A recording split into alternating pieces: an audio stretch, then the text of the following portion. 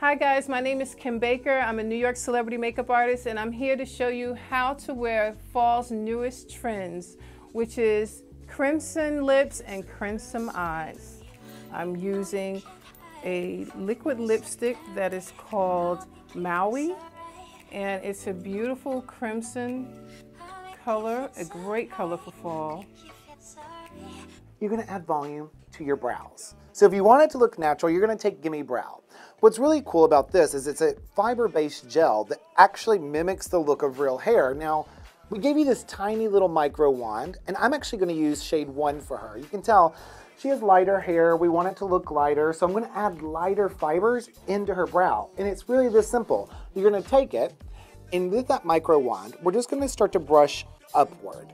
Okay, if you can brush your hair, you can brush Gimme Brow into your eyebrows. Hi, I'm Ashley Rutter, Senior Artist for MAC Cosmetics, and I'm here to show you a crazy glam Mariah Carey holiday inspired look using the new MAC Cosmetics and Mariah Carey collection.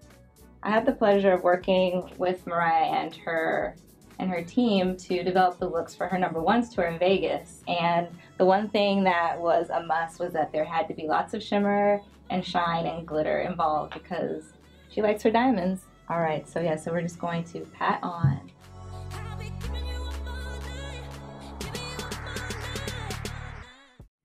everyone, I'm Cynthia Rivas, MAC Senior Artist, and today I'm going to be showing you how to use the Trolls collection. We're going to be playing with a little bit of color. I think we're going to use a bright blue. I'm going to show you how you can use that and still feel sexy during the summer. And then we're going to